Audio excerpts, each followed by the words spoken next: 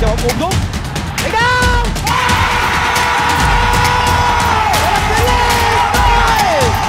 các cổ viên của U23 Việt Nam đã phải chờ đợi điều này từ rất lâu rồi.